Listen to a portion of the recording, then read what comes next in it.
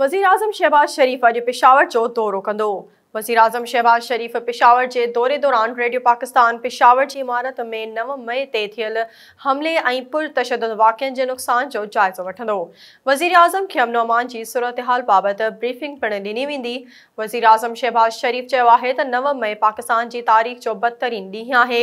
नव मई से फ़ौजी इमारत मथा हमलो कदड़ के कें भी सूरत में बख़्श न कयो वेंदो